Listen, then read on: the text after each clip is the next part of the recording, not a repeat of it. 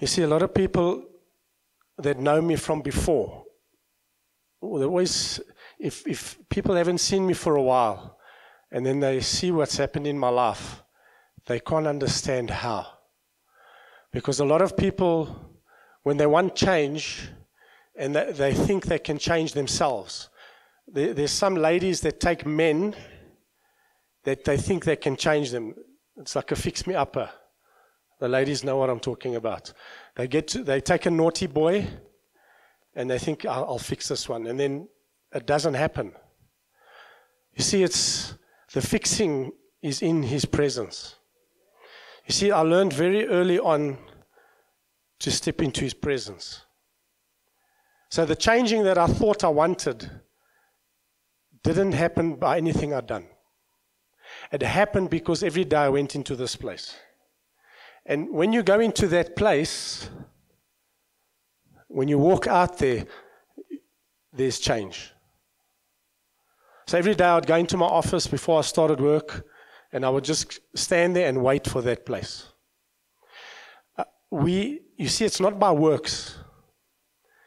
Jesus said that your works are like filthy rags. And when you go into a place of works, now get there's a fine line here, because there's stuff that I must fix in my life. When I say I say we, we must fix. But it's when you take it to Him that the fixing starts. You see, there's a, there's a sanctification where Almighty God starts to make you holy.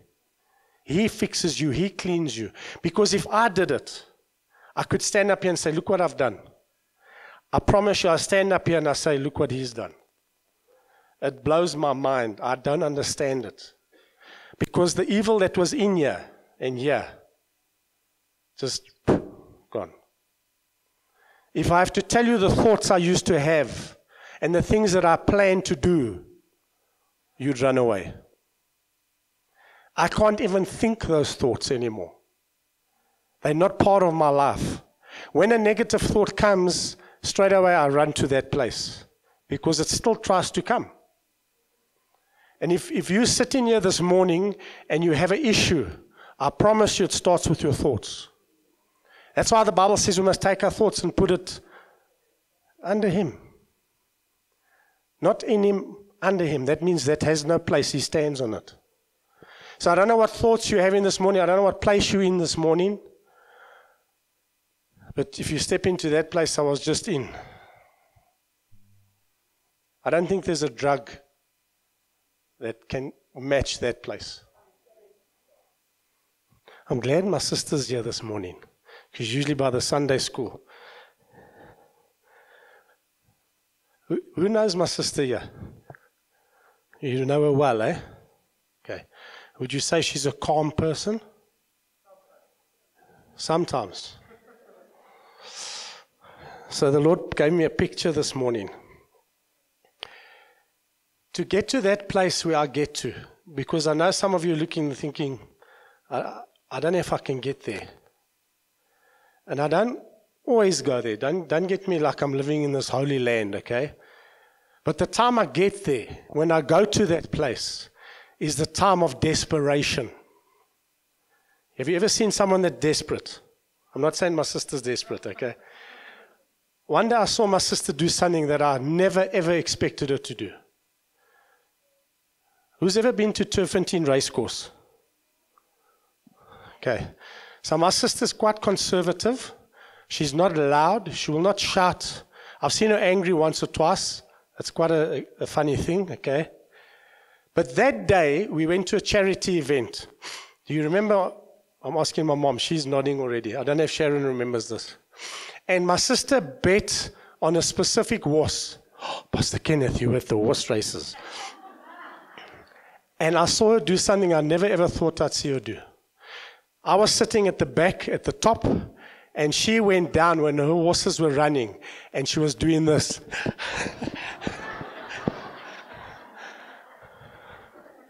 and screaming, Go, go! Never ever seen her do something like that. Guess what? She was so excited to see her horse win. She jumped up and down. And the Lord showed me that picture when I was sitting there. And I'm thinking, how many of you here, inside of you, you're doing that? But you're so conservative, I wouldn't want anyone to see me doing that. I wouldn't want anybody to see me so desperate for God that my little tears run out. There's mania. Inside, they are bursting with passion for Jesus, but because we've taught men, men don't cry. Cowboys don't cry. We suck it up. The little tear goes.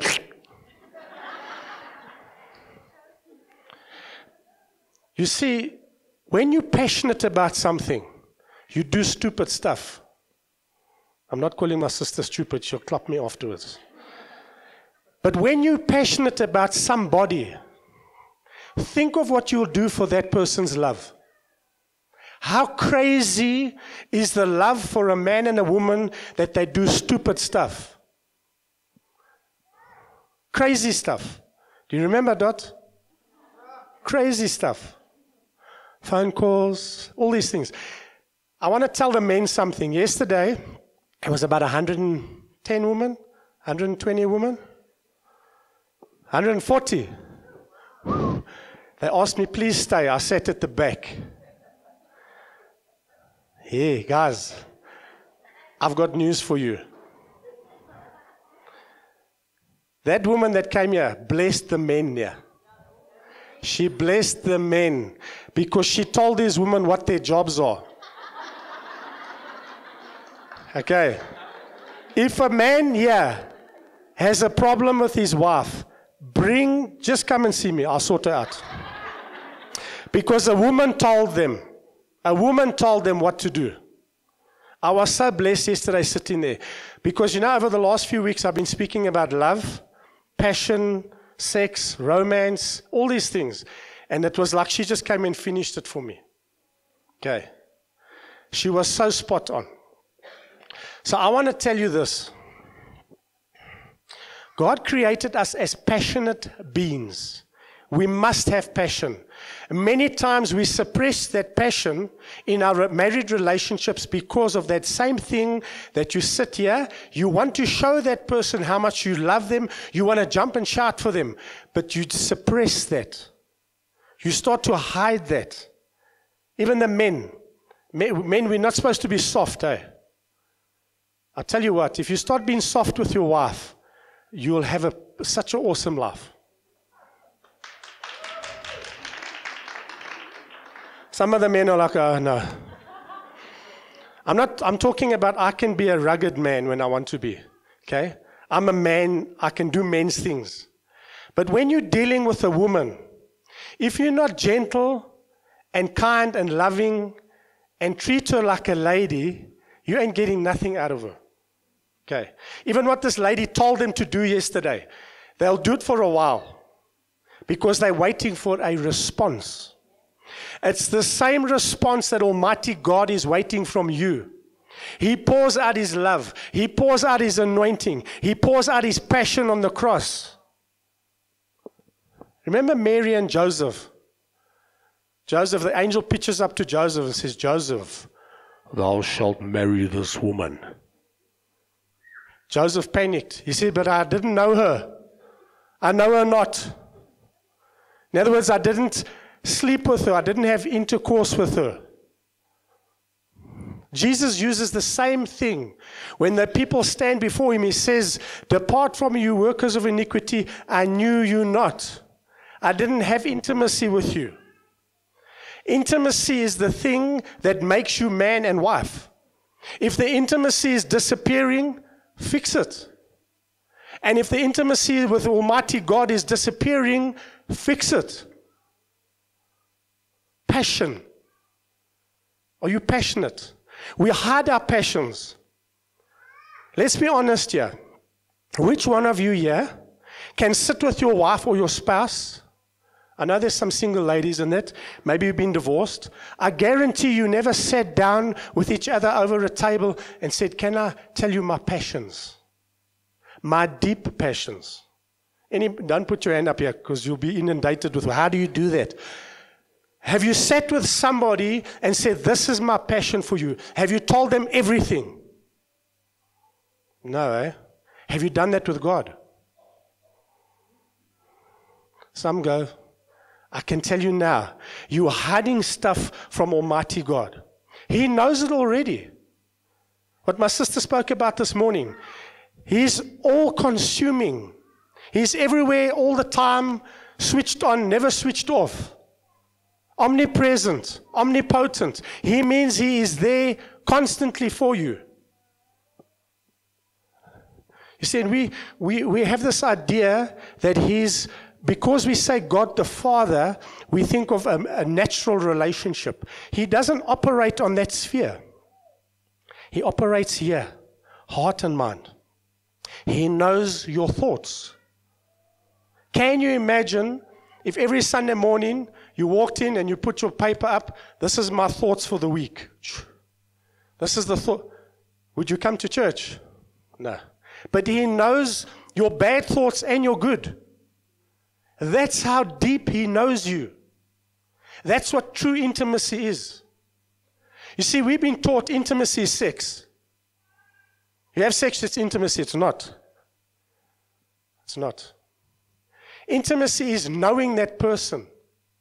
That means knowing them spiritually, mentally, and then physically. And that's when you become one in the flesh. There's an intimacy that people can't explain. And I'm not talking just about running around and having whatever you want because it's fulfilling a lustful thought or, or desire. I'm speaking about knowing that person intimately here. I'm trying to do that with my wife. It freaks her out. Because I'm starting to tell her all my thoughts. Dorothy, are you listening? Sometimes she doesn't listen. Do you know why I'm doing that? Because Almighty God has asked me to do that. Can you imagine when you sit with your wife? This is for the men. And you tell her in the morning, This is my thoughts in the morning. Boom. At 9 o'clock. Boom. At 10 o'clock. Do you know what will happen the first few times? She'll say, Hey, you mal. She'll tell you you're mad. But after a while, she will start to trust you at a level that you cannot believe. Key to any relationship trust. Take trust out, it's just a casual relationship. But when you trust that person explicitly because they are now telling you stuff that you shouldn't actually be hearing, it's exactly with Almighty God. Do you trust Him with your thoughts? Because He knows them. You can't hide them. And when you get the revelation of that and you start to understand that, your relationship with Him will change.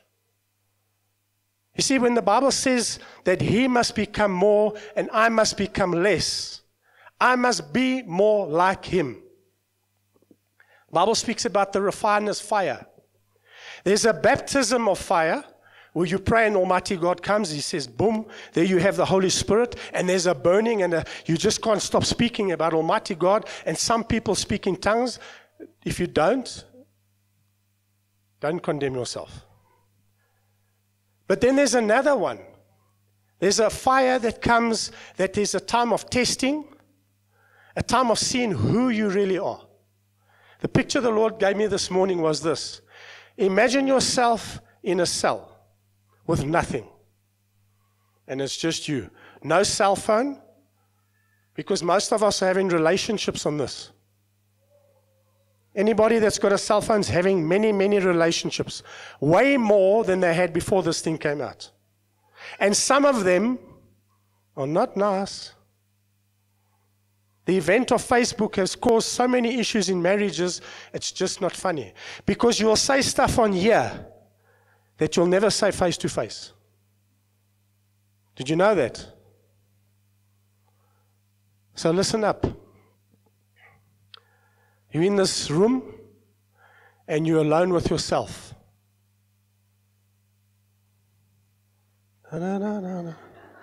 Okay. It says a lot about the person, their ringtone, eh? You're alone with yourself. Guess what happens very quickly?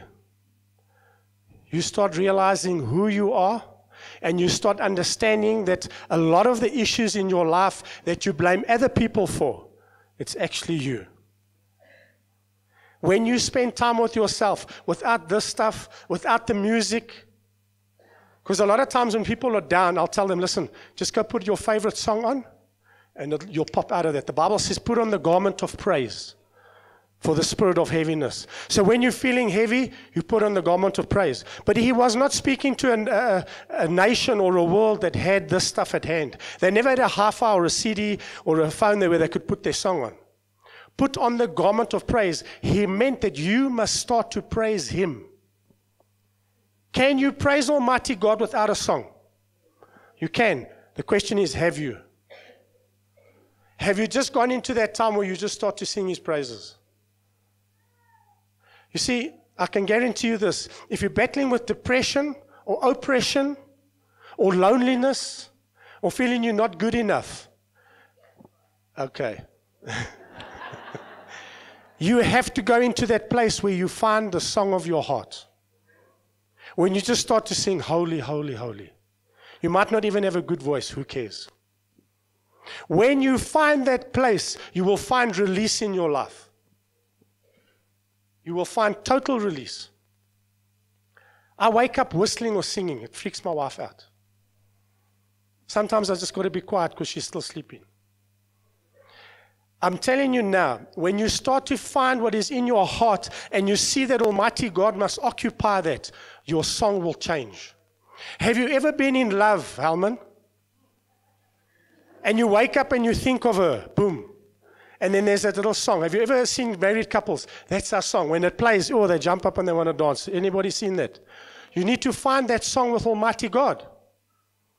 You need to wake up to that song where you're singing praises to Almighty God. Your life will change.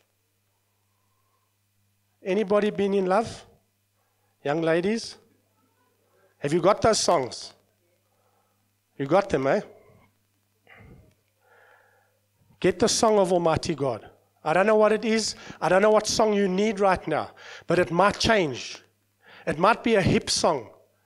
But when you find that song that is deep within your heart and you start to sing it, that is the garment of praise. People will come along and try and tarnish your garment with their stupidity, with their negative words, with evil thoughts. You have to keep your garment clean. You have to sing praises to Him. That's what happened this morning here with me.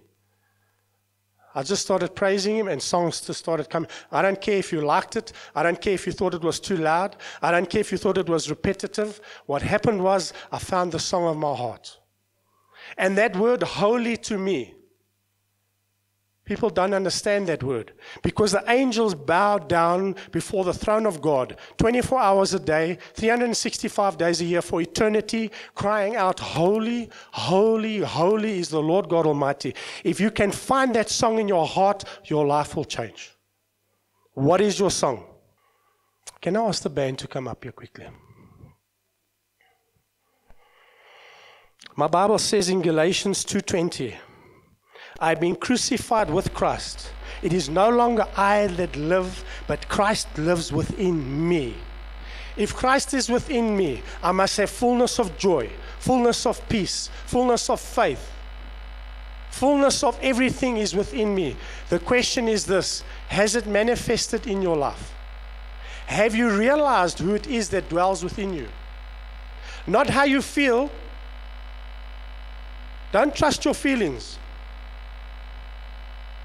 I'm saying that He is within you. If you've put your hand up one day and said, I need Jesus, you have the fullness of Him. Because He says, Whoever calls upon my name will be saved.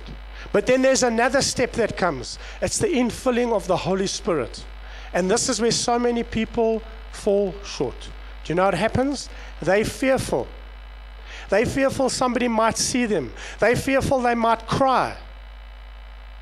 My sister wasn't fearful that day when she was jumping up and down because she wanted a horse to win.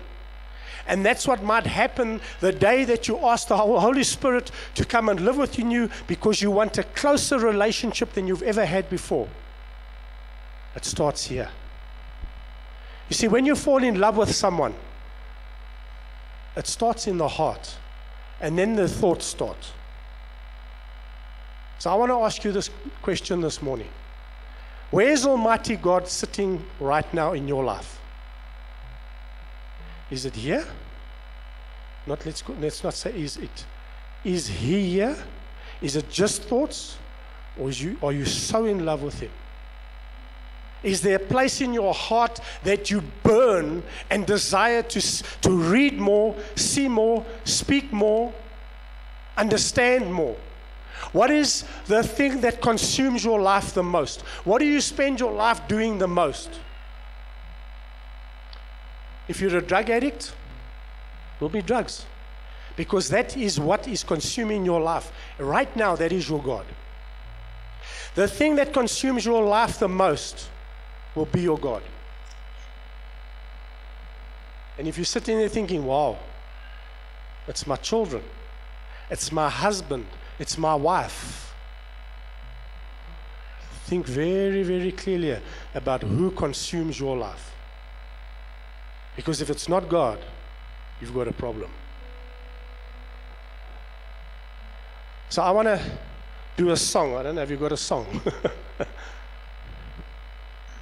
I want the cry of your heart this morning to be, Lord, I want to love you more. I want to know you more. I need your love. I need your passion. I want to be just for you. When people see me, they must say, This dude is obsessed with Jesus. Everything, Jesus. Everything, Jesus. And when you get there, you see, the Bible says that we will come under persecution. If you're not coming under persecution, that means Jesus just a little bit of your life. But when you're obsessed with Him, when you're over, you just consumed, people will start to reject you. Are you rejected for Him this morning? Can we stand? Can we have the lights off? I want to tell you this Almighty God wants to touch you in your heart, in your feelings, in your mind, in your passion this morning. But can you call on Him? Can you open your heart to Him? You see, if you've been hurt in your life, a man may have hurt you, a woman may have hurt you. I can tell you now, you're going to find it very difficult to open up your heart to the Lord. But I want to challenge you this morning just to say, you know what, I give up. I give up, Lord, take it all. I give you everything my hurts, my passions, my desires, my life. Everything. Father, this morning, I thank you for loving me, Lord. Yes. And if you can love me, Lord, how much more can you love these people in this place? So we praise you this morning. We give you glory and honor that you'd receive us, the sinners that we are, Lord. You'd come in and sanctify and set us clean and come and live within us, even though we fail every day. We bless you in this place, Lord Jesus. We honor you. We love you, Lord. Father, as we leave this place, knowing that you are with us, consuming and loving us, thank you, Lord Jesus.